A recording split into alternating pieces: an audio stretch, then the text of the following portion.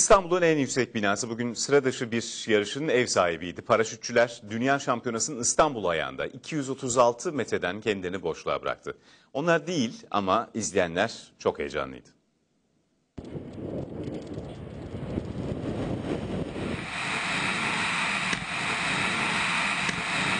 İstanbul'un en yüksek binalarından atlayıp havada taklalar atıyor, kuş gibi süzülüyorlar.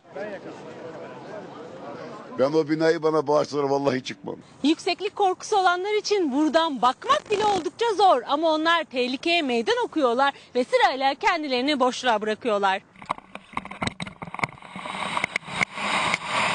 koşuyorsunuz koşuyorsunuz artık son adımınızı zıpladığınızda böyle bir boşalma oluyor içinizde. Aa! Bu bir dünya şampiyonası. Yüksek binalardan paraşütle atlama yarışması. Sporun adına da base jumping deniyor. Sporcular önce itinayla paraşütlerini hazırlıyor. Rüzgarın yanınızda olması lazım. Sonrası anlatılmaz, yaşanır.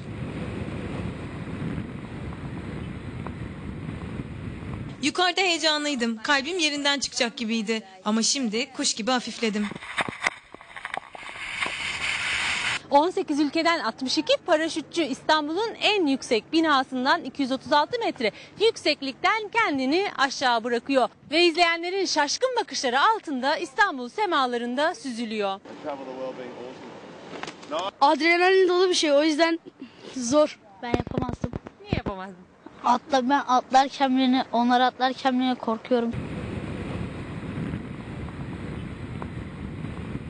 Durağın altından çıkmıyorsunuz. Evet, çıkmıyoruz korkuyoruz ondan.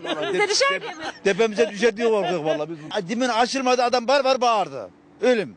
İzleyenler cephesinde süren tartışmalardan biri de ben de yapabilir miyim sorusu oldu. Ben oradan aşağı bakma bakamam sen. Atlar mısın? Yemin ederim atlarım. Atlarsın. Vallahi atlarım. Hadi ben parayı vereceğim. Vallahi vereceğim. Billahi vereceğim. Hadi çıt atla bakalım hadi. Kendini hoşa bırakır ne olacak? Kendimizi ayak üstüne havaya bırakıyoruz. Paraşüt kendi kendine açılıyor ama Yarışmada Türkiye'yi Hasan Dökme Tepelioğlu temsil ediyor. toplam atlayışım 11 oldu şu anda. Nasıl atlıyorsunuz peki deli cesareti bize göre? Kesinlikle öyle. Her insanın harcı değil Ee, ama mükemmel bir zevk. Heyecan dolu anların sahnelendiği dünya şampiyonası iki gün daha devam edecek.